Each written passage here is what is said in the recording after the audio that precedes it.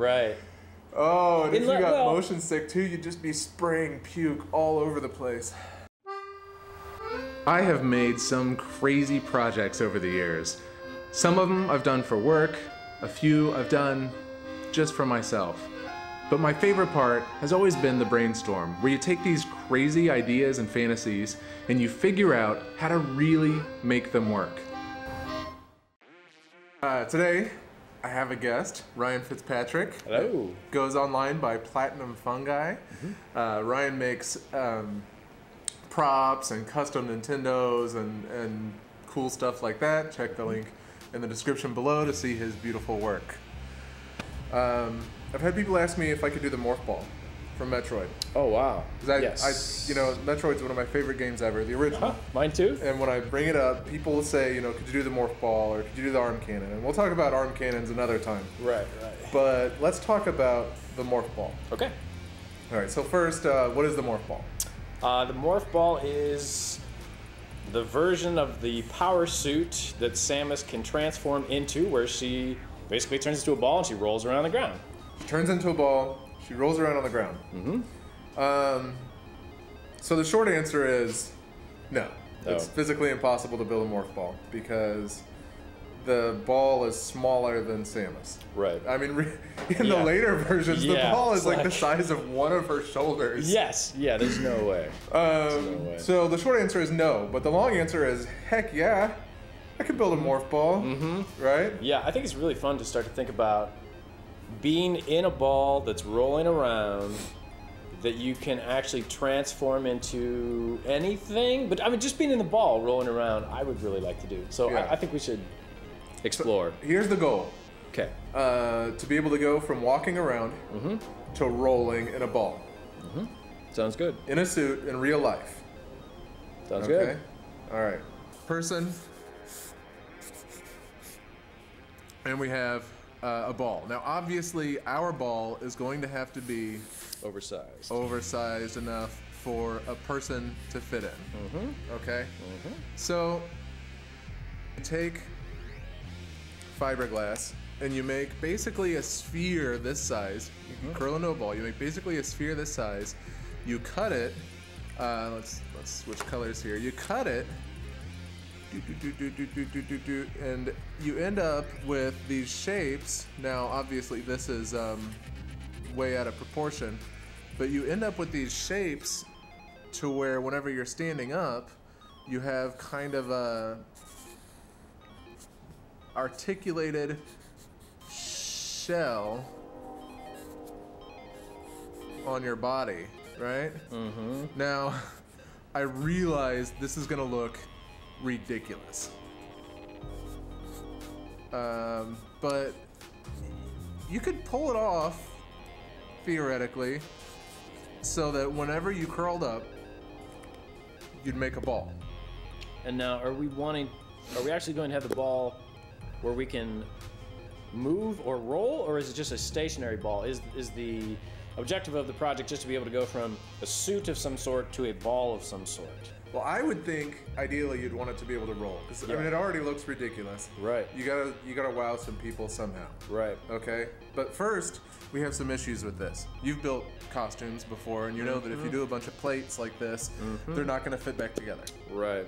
Okay. So you need something to fill the the gaps here. These these voids between like your head and the mm-hmm. sphere and all that to get it to be the right so whenever you curl up they're all in the right position Right. And I, have to lock together somehow Yeah. too, that they won't come apart while you're rolling. so locking together i propose you put little magnets little like uh, rare earth magnets that are super strong mm-hmm. and then to fill this gap i think foam like mm-hmm. like maybe even expanding foam like theoretically theoretically theoretically Power Suit 1.0. So this would be this would be extremely dangerous. yeah. But you could make a fiberglass sphere, Mm-hmm. sit somebody in it, cover them in like cellophane, put a breathing tube out, Uh huh. and then pump that sucker full of expanding foam, and then cut them out, and you would have bits that were formed Wow. perfectly. Wow.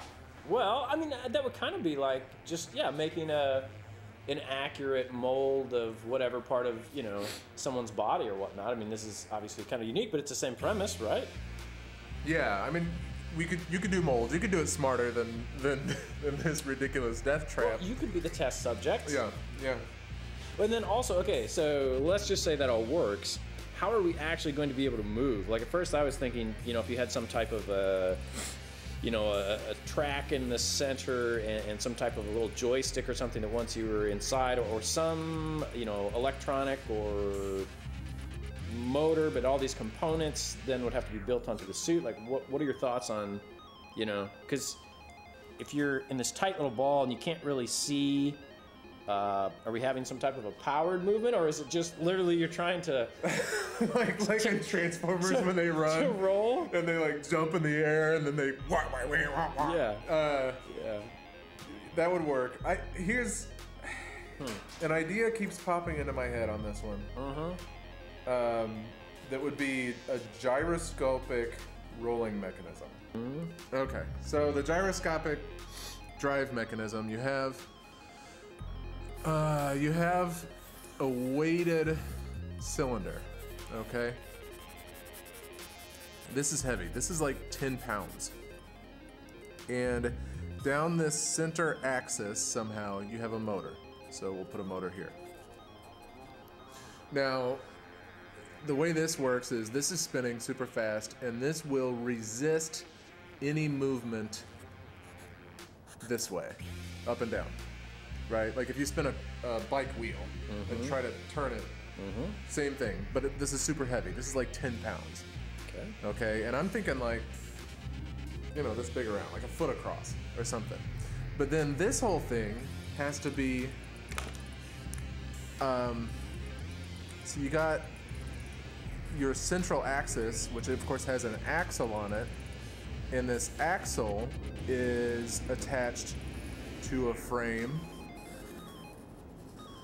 And then this frame on this axis has a motor out here. And this motor is actually what you're holding on to with a grip. Okay, so this whole thing could be encased. Mm-hmm. So it'd be safer. So this is free spinning, and you have a grip out here.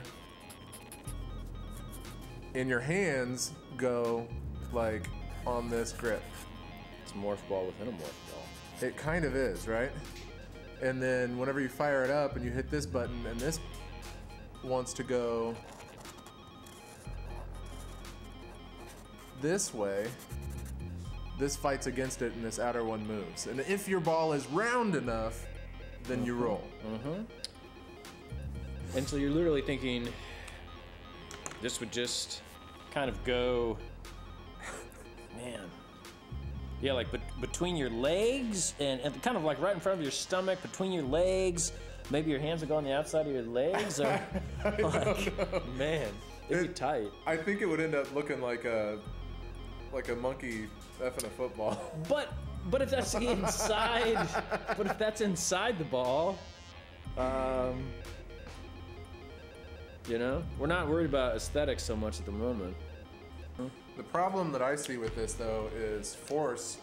Okay, you got I'm I'm 200 pounds. If I'm sitting on this thing, these the forces here are gonna force these bits apart. Mm-hmm. And then if you actually manage to get rolling, it's gonna get much stronger. Like, have you seen you've seen footage of like people who got in like um, a motorcycle accident or something, and they're going, they always spread out. You can't curl into a ball and hold Oh, yourself into a right. ball while you're being flung through the air. Sure. So if you manage to get this rolling at some point, you're gonna start to stretch out. Right. Oh, and if In you got well- motion sick too, you'd just be spraying puke all over the place. I don't want to walk around with this suit in in uh, whatever form, but Yeah. Oh, and you wouldn't be able to see while you're in it, while you're in the ball. ooh, okay, that's a good point that we had not mentioned yet. Hmm. Yeah, how on earth? They never explained that in the games. I've never thought about that at all. I mean, obviously it's a video game. Couldn't mount a camera on it either because the Uh-uh. whole thing's spinning. Uh-uh. I think I'm done with this mental exercise. Mm-hmm. I mean, you'd look, you would look ridiculous. And you know what this reminds me of? Actually, is is the Droideka you would look more like a droideka from Star Wars. They're the big robots that would roll up and unfold and then Oh, shoot. yes, You, know, yes. you would look you would look so much more like one of those. Right. I mean, that, those are my thoughts on how you could make a, a functional rolling morph ball suit. Uh-huh. You'd look ridiculous. Yeah, you'd not look like Samus. You'd look like a walking droideka. Um, but in theory, and and it's I mean it's fairly sound. In theory, you could roll with that. Yeah. And if we were able to transform into some type of a standing suit, then it would accomplish our Yeah. Our objective. We'd uh, we would accomplish our objective. yeah. So, in short, nope, can't build a functional morph ball suit. Um, but you could build something that looked absolutely ridiculous that pulled off the same bullet point checklist. Mm-hmm. Huh. Now I just want to build it.